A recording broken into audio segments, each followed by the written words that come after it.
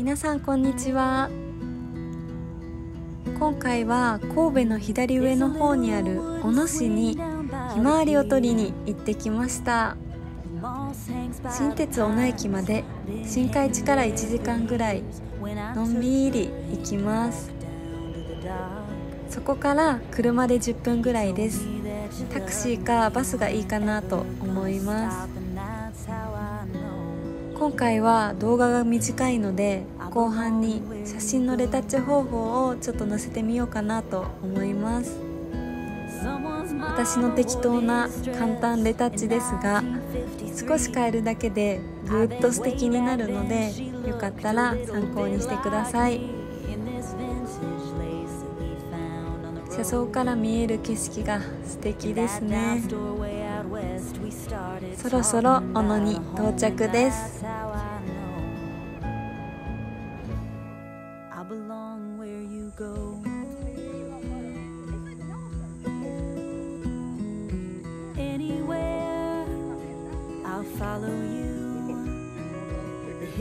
Tennessee or the emerald ocean blue of nothing else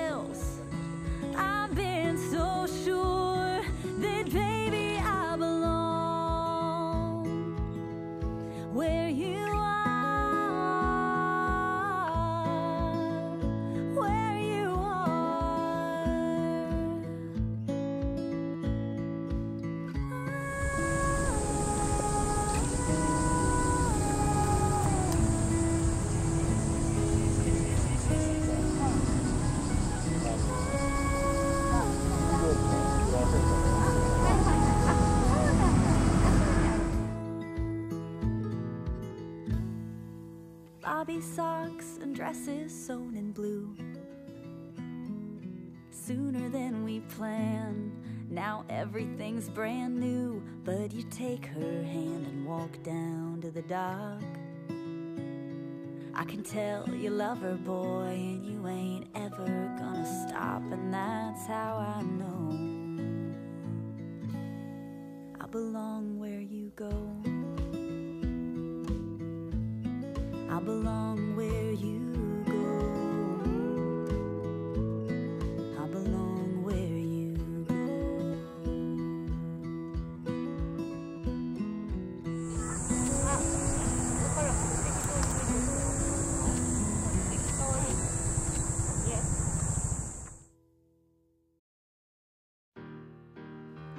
私はレタッチするのが結構好きです。不自然だったり無理やり付け加える加工はあんまり好きじゃないんですけどカメラに映りにくい色や雰囲気をできるだけ再現したいなと思ってやってます。でもめんどくさいってこともあると思うので今回はズボラの私でも続けられる簡単適当レタッチをご紹介します。あくまで適当なので真面目な方は後でもう少しちゃんとしたところでも勉強することをおすすめします。あとこういう説明動画が初めてなので多めに見ていただければ嬉しいです。Adobe の Lightroom Classic をずっと使ってます。スマホであれば Adobe アカウント作れば無料です。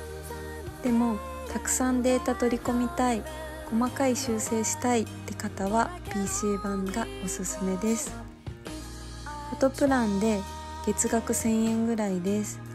一括で買ってもいいんですけどアップデートされて新機能が増えていくので月額プランがおすすめです。最近は空とか被写体だけ自動で選択してレタッチできる機能が増えてめっちゃ使ってます。ではまず基本レタッチから始めますね。まずハイライトは基本的にマックス下げます。それによってちょっと分かりにくいんですけど空の雲とかがくっきりします。次に露光量明るさを調整します。個人的に白っぽい明るい方が好きなので白飛びするかしないかぐらいまで明るくするんですけどこれはお好みです。で次に色温度を下げると涼しげなエモい感じになります。ですがやりすぎると不自然なのでプラスマイナスで言うとプラマイ10ぐらいの間に収めておきましょう、あとサイドも鮮やかになるので触りたくなるんですけどこれもちょっと不自然になるのでサイド関係のものは極力触らないようにしましょう。はい。次に重要な肌をきれいに見せる方法です。下のカラーミキサーでオレンジのところのサイドとを少し下げて輝度を少し上げます。これで肌が自然に美白になります。次はフィルム風エモさをプラスするための方法ですね。色かぶり補正を左側の緑の方にしてください。これもやりすぎると変なのでちょうどいいところで調整してください。でもう一つ先ほどのカラーミキサーの青色の色相を左の水色側にすることもフィルム風のコツですね。あとシャドウとコントラストは濃くするかどうかはその時々です。柔らかい感じにしたかったらシャドウを上げてコントラストを下げることが多いですね。個人的にもシャドウは結構上げてます。でも今回ひまわりを少しくっきり出させたいのであんまりそこは調整せずにこれぐらいにしときますね。で最後に明るさを、まあ、全体を見てもう一度調節してこれで一般的なレタッチはおしまいです。これだけでもこんだけふんわりと明るい印象になりますね。これで編集を他の画像にコピーや同期すればこの編集を他の画像にも一括で適用ができます。そしてここから書き出しをします。ここから PC 版で応用の空のレタッチをやっていきます。まあ簡単です。一番右の上のマスクの部分選択のところから空を選択してください。これで空の部分だけ選択してくれるんです。すごいんですよ。そしたら色温度を下げて霞除去を上げるだけで空が出てきます。不自然じゃないところまでやりすぎると不自然なので不自然じゃないところまでやってください、ー、被写体にかぶってしまってる時はこの被写体を選択かこうですね。もしくはブラシの部分でこ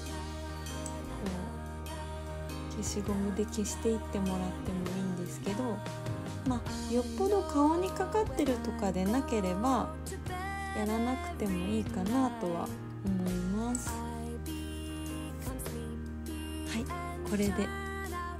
空は完成です。ちなみに全体を同じ色味にしたい場合被写体だけ編集するのもありです。この桜の写真外側の全体的に背景をピンク色にしたいので、えー、かなり色をピンクっぽくしてるのと色温度も下げて露出も若干下げてます。ただこうすると被写体がちょっと不自然にピンク色で顔色が悪い感じになるのでその場合は被写体だけを選択します。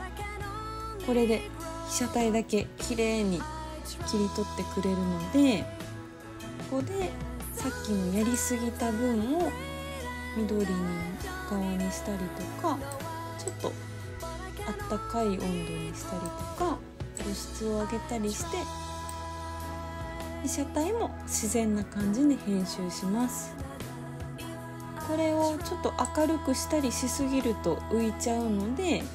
まあ、それもちょうどいい感じにするんですけれども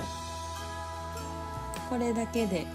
背景も綺麗で被写体も綺麗っていう写真が完成します。こんな適当でも随分変わるので是非ちょっとやってみてください。突然のレタッチ講座にお付き合いいただきありがとうございました。もし質問などありましたらコメント欄にお願いします。ではでは今日も見てくれてありがとうございました When I took your hand and walked down to the dock, you told me that you loved me, you weren't ever gonna stop, and that's how I know